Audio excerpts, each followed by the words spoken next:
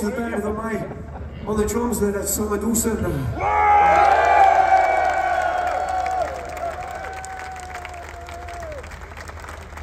On the guitar, Grahame Leslie.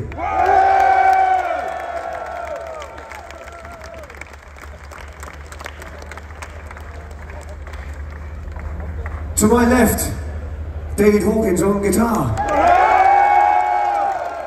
Last but not least, Steve Harris on the bass.